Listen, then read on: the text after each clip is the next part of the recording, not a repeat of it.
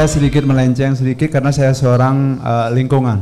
Oke. Uh, jadi saya uh, sangat prihatin dengan keadaan lingkungan saat ini di mana terjadi pencemaran yang cukup parah di mana sungai-sungai sudah mulai terkontaminasi oleh plastik-plastik. Itu yang menjadi uh, perhatian saya termasuk seperti yang saya katakan tad, uh, apa, tadi bahwa uh, sampah yang numpuk di TPA sekarang ini makin tinggi dan 80% itu setelah saya uh, teliti sama teman-teman di Trust Hero itu 80% itu adalah uh, organik. Nah, di sinilah ada suatu peluang di mana kalau penyelesaian sampah itu di rumah tangga sudah selesai, jadi 80% sudah kita bisa kendalikan yang namanya uh, tumpukan sampah itu. Dan itulah yang lagi saya perangi dengan teman-teman di komunitas untuk uh, apa menghadapi hal tersebut. Nah, yang menjadi pertanyaan saya di Bali itu sangat terkenal dengan offering atau aturan itu. Jadi mereka banyak menggunakan apa namanya uh, daun kelapa Nah, daun kelapa ini seratnya kan tinggi. Jadi untuk menjadi kompos itu butuh waktu sedikit lama. Nah, adakah yang uh, apa bioaktivator yang bisa mempercepat proses daripada uh, pengkomposan itu? Bukan saja untuk uh, apa uh, daun kelapa tetapi untuk sampah-sampah itu biar cepat di uh, uh, jadi kompos. Nah, terus yang kedua itu adalah uh, apa namanya? di, di Bali juga banyak sekali peternak babi. Dan jujur saya sebagai seorang lingkungan sedih juga kotorannya itu dialirkan ke ke sungai. Ada yang lagi ditumpuk begitu saja di di got-got lahirnya. Dan akhirnya itulah menjadi pencemaran lingkungan terutama sungai-sungai kita dan ujung-ujungnya sungai itu akan bermuara ke ke laut dan kita menjadi bagian daripada ekosistem laut itu di mana kalau salah satu yang namanya uh, apa binatang atau tumbuhan yang tercemar di laut itu kita pun akan akan impactnya gitu loh. Nah di situlah uh, saya pingin sekali uh, memanfaatkan kotoran uh, babi itu untuk peternakan cacing. Mohon uh, penjelasan sedikit tentang cacing sehingga bisa saya terapkan nanti di uh, apa di di Bali gitu tentunya. Terus yang terakhir ini adalah saya sudah membuat yang namanya uh, Waste Management Learning Center. Apakah bisa saya kolaborasikan, ada padukan dengan uh, BSM atau pertanian ini dan kalau bisa saya akan mengangkat nama BSM di sana. Karena apa? Karena ujung-ujungnya ketika kita berbicara masalah lingkungan, kalau masalah ekonomi masyarakat itu masih di bawah, nggak akan diterima. Makanya saya akan membuat suatu sistem yang namanya trust to treasure atau bagaimana sampah itu menjadi satu peluang yang bisa meningkatkan ekonomi masyarakat. Mungkin itu ya dari saya. Terima kasih Pak Bayu. Sama-sama Bapak, luar biasa. Oke. Sampah Bapak Ibu, minta maaf. Bagi orang tertentu, sampah adalah masalah. Tetapi kembali ke dasar Kenapa orang tidak mau mengolah sampah? Karena merasa sampah tidak berharga. Saya harus katakan jujur, yang dirubah pertama kali adalah mindset. Jadi mereka selalu berpikir masalah sampah itu tidak ada artinya. Tetapi seandainya setiap keluarga itu punya rasa tanggung jawab dan sampah itu menjadi berkah, saya yakin tidak perlu ada TPA tempat pembuangan akhir sampah. Kenapa kok begitu? Contoh seperti misal Bapak Ibu. Seandainya ini bagi Bapak Ibu, siapa yang mau cepat terkenal dipanggil presiden atau didatangi presiden gitu? Ada enggak kira-kira di sini? Sampah hari ini kan menjadi trending topik. Apalagi habis ini ada satu program dunia tentang low carbon. Low carbon itu menekan adanya eh, apa untuk gas untuk mengatasi rumah kaca ya pemanasan global dan mencegah gas metan ke udara. Jadi dari sampah dari kotoran ternak harus diolah supaya apa tidak terjadi pemanasan global. Yang paling takut adalah Eropa terus terang. Karena apa? Pemanasan global membuat es mencair dan membuat banjir di mana-mana. Perubahan yang luar biasa. Nah, semua itu bisa dikerjakan di sini. Kalau mau jadi orang terkenal adalah ngolah sampah saya minta tolong. Ketika Bapak Ibu tadi mengolah LRT, ini kan untuk awal kan untuk keluarga kita sendiri. Saya jamin kan tidak akan cukup. Ayamnya cuma 10 ini aja masih kadang-kadang pakan masih harus beli. Karena alasannya sering tidak makan di rumah, makanya keluar. Betul atau tidak ini? Kita satu minggu kadang-kadang masak berapa hari toh? Apalagi yang bapak tinggal berdua kadang-kadang gini kan, ah sudah tidak usah masak bu, nanti makan di luar kan gitu toh pak? Lebih murah betul. Gitu. Jadi alasannya tidak punya limbah gara-gara tidak pernah makan di rumah. Nah, akibatnya apa? Ya tidak bisa pelihara ayam. Nah, tapi seandainya kita cuma limbah sendiri kan tidak cukup. Ini yang saya ajarkan. Seandainya satu RT Bapak Ibu, Bapak Ibu titipi timba, sampah organik. Ini diolah jadi dua, jadi pakan dan jadi kompos, jadi pupuk. Nah, ketika satu RT ini kita olah, saya yakin ayam 100 induk pun ini bisa bisa pakan tidak perlu beli. Kenapa kok pakan tidak perlu beli dengan ayam 100 pun? Karena limbahnya dipikul orang banyak. Satu RT berapa kakak biasanya? Bisa 30-40 kan? Kalau seandainya setiap hari dapat 40 kilo air cucian beras sama itu, pupuk kita melimpah atau tidak? Pakan kita melimpah atau tidak? Percayalah, tetangga kita ketika tahu kita mungut sampah, mereka akan kasihan dengan kita. Betul enggak kira-kira? Kasihan sekali sampah aja minta, lo bayangkan loh. Fair. Habis minta sampah Bapak Ibu, kalau tinggal di perumahan, percayalah, sebentar lagi kalau Bapak Ibu sudah mulai tanam di dalam polybag, ini daerah perkotaan, saya bilang perkotaan, bukan perhutanan lagi. Kalau di hutan tidak mungkin punya tetangga soalnya, tidak ada limbah di hutan. Tidak ada sampah di hutan. Sekarang kalau bilang sampah berarti bilang kota. Kalau di kota kan rata-rata keluarnya satu, tidak punya lahan, betul atau tidak? Tapi percayalah, rumah itu tidak langsung mempet jalan, jalan kok. Saya tidak pernah lihat rumah terus di depannya jalan raya itu tidak pernah kok Bapak Ibu. Pasti ada space, betul kan? Tanamilah space dengan tanaman dalam polybag. Kita nyebutnya urban farming. Polybag ini buatkan media yang superfood, yang super media, yang murni isinya kompos dari mana buatnya? Dari limbah-limbah rumah tangga yang diolah jadi kompos. Karena apa? Untuk pelihara ayam di kota kan mungkin cuma maksimal 10-20 ekor. Lebih dari 20 ekor Pak RT datang. Bukan bau Pak, berisik. Kalau bau bisa diatasi, suaranya ayam tidak bisa dihentikan. Ayam kalau mau bertelur ya petok-petok, kalau kalau pagi ya kukuruyuk, itu sudah hukum alam. Kalau cuma 1, 2 sampai 10 dipikir hobi. Tapi kalau sudah di atas 100 itu dipikir peternakan. Masa di kota mau buat peternakan? Nah, tapi sampah yang ada olah jadi kompos. Komposnya dijadikan sebagai superfood, super media. Percayalah.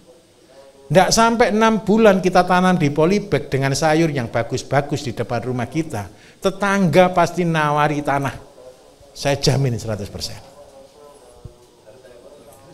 Di perumahan sekalipun Bapak Ibu ada enggak fasumnya kira-kira?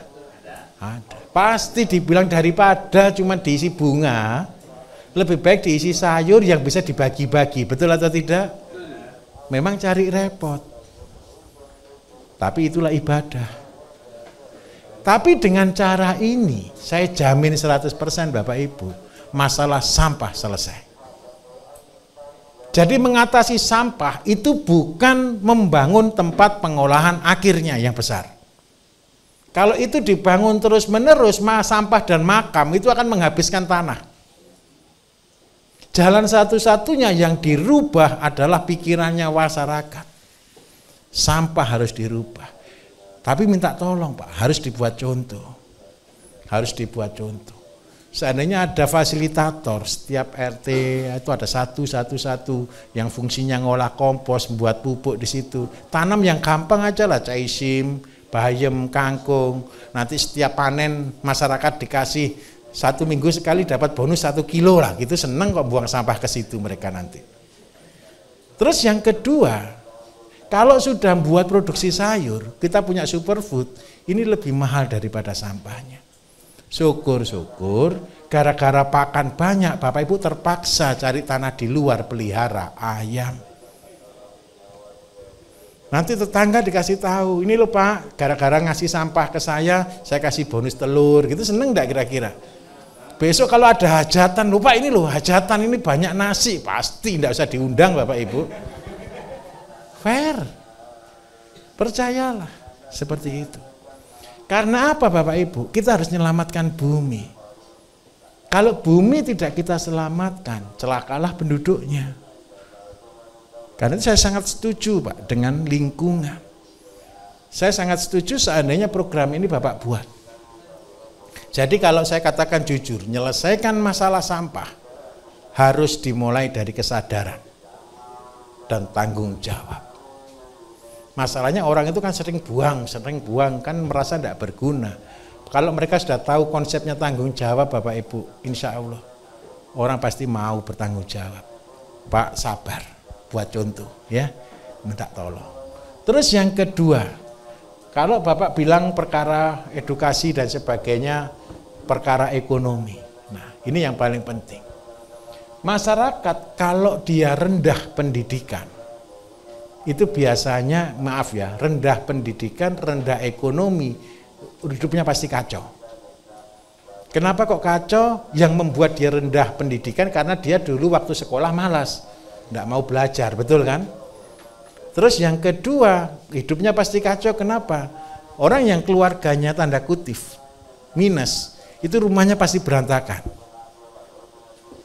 betul atau tidak barang bagus pun ditaruh tidak berguna, betul? Karena dia merasa semuanya itu tidak berguna. Tetapi ketika orang itu semakin dia kaya, dia semakin rapi. Karena menghargai sesuatu, itu kuncinya di sana. Jadi sebenarnya untuk mengubah masyarakat yang ekonomi rendah, yang dirubah adalah menghargai sesuatu. Termasuk menghargai sampah. Nah, Caranya bagaimana? Minta tolong. Tidak ada cara lain. Bukan diajari, tapi diberi contoh. Itu yang terbagus. Jadi saya minta tolong Pak, mulai dibuatkan tempat pengolahannya dulu. Setelah itu ada yang tekun, memang perlu perjuangan, perlu pengorbanan. Karena itu kalau mendapatkan uang susah, tapi kalau program ini berhasil, yang datang presiden gitu loh Pak. Itu goalnya seperti itu. Kenapa Bapak Ibu? Ini penting sekali. Ini yang saya juga lakukan. Saya juga jadi pemungut sampah. Percayalah. Sebelum saya jadi ngajar begini, saya pernah jadi pemungut sampah, Pak. Satu hari saya bisa mengut sampah itu satu sampai satu setengah ton kok. Gara-gara saya sudah terkenal jadi tukang sampah. Pabrik-pabrik yang punya limbah ikan, punya macam-macam itu kirim saya, Pak, saya punya limbah, Pak. Apa, Pak? Saya punya hatinya ikan, saya punya jeroan ikan Oh iya saya senang kepala udang gitu, gratis Bapak Ibu. Kadang sopir saya dikasih sangu sama mereka. Katanya titip buangkan, kan begitu kan. Padahal mereka enggak tahu. Mereka jual buang sampah ke saya, saya jual 100 ribu satu kilo, lebih mahal daripada ikannya. Begitu tahu gitu dia tertawa ketemu saya, oh pinter. saya minta maaf, mulai dari ketekunan. Terus ke kotoran babi. Begini ceritanya. Kalau kotoran babi diolah jadi pupuk, saya mau katakan jujur, terbagus kotoran babi. Itu sama dengan kotorannya manusia, karena organnya babi mirip dengan manusia. Karena itu bagi daerah tertentu kalau manusia yang angel susah dikerui tahu bilangnya seperti karena makanannya organnya hampir mirip. Tetapi secara faktor sosial itu kan kurang etis Pak. Jadi bagaimana caranya supaya kotoran babi tidak menjadi problem di daerah-daerah tertentu. Jadi untuk Indonesia Timur mulai dari Bali ke timur itu kan paling banyak babi berkeliaran. Ini Ambon juga ini. Ambon itu bisa seluruh pantai itu isinya babi itu. Dulu tapi tidak tahu sekarang. Sekarang masih ada enggak kira-kira? Masih banyak kan? Jadi saya lihat di pantai-pantai di Ambon itu paling banyak babi berkeliaran. Yang dimakan kotorannya orang kadang-kadang. Nah, dari sana Bapak Ibu, kalau kita tidak selamatkan alam, maka semua akan tercemar. Bagaimana terbaik? Terbaik kalau mau buatkan reaktor biogas. Jadi buat reaktor biogas, Pak. Masyarakat memang tidak akan mau. Jadi ada yang memang relawan yang mau mengambil itu membuang di situ. Supaya apa? Kotorannya ini keluar jadi biosluri Ketika sudah jadi biosluri, ini masuk ke tanah, masuk ke mana sudah tidak bau, sudah tidak ada efek. Kalau bisa diresapkan seperti septic tank. Itu yang terbagus. Tapi kalau Bapak Ibu yang di daerah-daerah kayak di Bali mau pakai kotoran babi untuk sayur, asal jangan cerita pembeli Pak ya. Nanti tidak akan mau juga. Orang Papua aja yang biasa makan babi, saya suruh buat kompos dari kotoran babi, mereka juga tidak mau megang kok Bapak Ibu. Nah, karena itu kalau paling aman buat septic tank. Tapi kalau Bapak Ibu tanya pupuknya bagus, pupuk nomor satu babi. Sama manusia, itu setara. Nah, kalau untuk cacing, gini ceritanya lagi. Di sana ada air mengalir Pak, ada sabah, kira-kira sungai, sabah, sawah. Sawah di Bali kan terkenal dengan sabak ya. Subak, subak ya. Subaknya ini kan begini, satu meter persegi itu butuh kotoran babi satu kilo pak. Satu meter persegi kotoran babi segar. Bapak taruh di atas kemudian level kedua ketiga ini bapak baru kasih cacing. Seandainya cacingnya cacing sutra pak ya. Kita bicara cacing sutra. Ini kalau bapak mau belajar lebih khusus ke cacing datang ke Klaten di Klaten. Di Klaten banyak, di Sukoharjo juga banyak. Di sana Bapak Ibu sewa tanah 1000 meter yang dekat dengan kandang babi. 1000 meter itu bisa 200 juta per tahun. Kenapa kok bisa mahal? Karena dipakai produksi cacing sutra. Cacing sutra kalau di sebelah kandang babi, apalagi harus syaratnya ada air mengalir Pak ya. Harus ada air mengalir. Nah begini, yang atas ini cuma dikasih kotoran babi per meter per hari satu, satu kilo. Sudah nggak usah ngasih makan, tinggal bapak kasih cacing di sini setiap hari panen selamanya panen. Kalau lubrikus tidak bisa seperti itu. Saya lebih senang daripada lubrikus lebih bagus cacing sutra, Pak. Tahu cacing sutra ya? Cacing merah itu. Cacing sutra itu harganya mahal loh Bapak Ibu satu kaleng itu sekarang sudah tembus 50 ribu. Kalau itu enggak masalah Pak, dari kotoran babi. Ikannya enggak tahu ini najis atau tidak. Dan percayalah, semua cacing sutra yang produksi Jawa Tengah pasti di atasnya kandang babi. Jadi di atas ada kandang babi, di bawah itu pasti sawah untuk pelihara cacing sutra. Bapak di sini ada saya punya cacing sutra sedikit yang saya kasih makan limbah rumah tangga itu pun mudah berkembang. Pokoknya dia diberi makan, ada air mengalir, dia pasti hidup. Ngeri Bapak Ibu kalau cacing sutra penghasilannya. Jadi satu petak dengan luas seribu itu setiap hari bisa dapat uang satu juta net. Itu. Bisa dipahami? Mudah atau susah kalau cacing gini? Kalau lubrikus saya tidak sarankan karena babi panas pak, amoniaknya tinggi. Ya. Oke, okay,